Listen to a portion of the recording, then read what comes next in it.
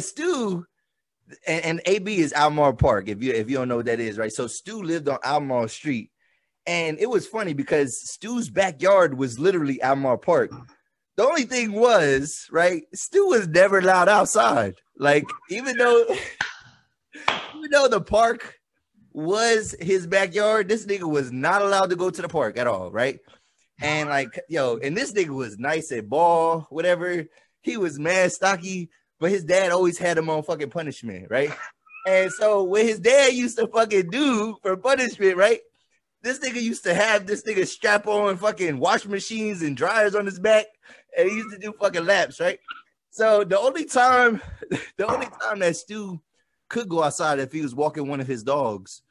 And this nigga, all his dogs was named after fucking Lion King characters. So, so his dog Rafiki or some shit like that, right? He, he, had, a dog, he had a dog named Rafiki, and, and this nigga used to sneak 303s in between his dog walks and shit. Like he he would tie the dog up to one of the, the swings or something, and then and then he had to hurry up get a quick three on three to seven. I mean, because if his dad found out that he wasn't walking his dog, it'd be time to strap on them fucking wash machines, man, on his back. Like, yo, this this nigga's childhood was rough, man. Like, I, I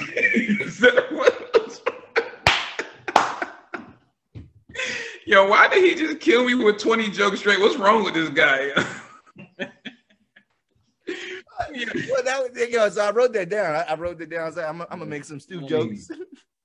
and you know, any anybody from the East, they gonna know all this is factual. So it ain't it ain't even no debate. I got the East on my side, and we know we know your life, man. It's all good, man. But yeah. you you it, you grew out of that, man, and and, and uh, you know, you you're who you are today because of it. You know? hey, you know what? He's sixty percent right though. I ain't even gonna hold. He, you know, it, it's forty percent cap. Forty percent cap. Forty percent. Shit. Yeah. All right, all right, 20, 20 percent, twenty percent. All right, we'll do thirty-five. All right, all right, all right, bet, bet. But yeah, you know what's so funny though? I actually forgot about all those punishments, man. I ain't heard that word in a while, bro. But yeah, you know, right? yo, you know what's so crazy though too? What's up? I was always on punishment for like I was always acting up in school. I was wild. I was I was wild in the classroom. For real? Yeah, in the, in the classroom. Wait, was, at, at, Davis, you was wilding. From K through I would say tenth. What? Yeah, you wasn't in class with me though. Yeah, cause yeah, you was you young, you a little younger than me. So yeah, I, I was an asshole. For real? Was you a yeah. bully? I found out I was a bully when I got older. What? I didn't know I was a. I, I just used to clown. I used to clown all day. But okay. you know that's bullying. You know, I don't know if you know that. That's that's bullying. Oh well, all right, yeah, because you know I I ain't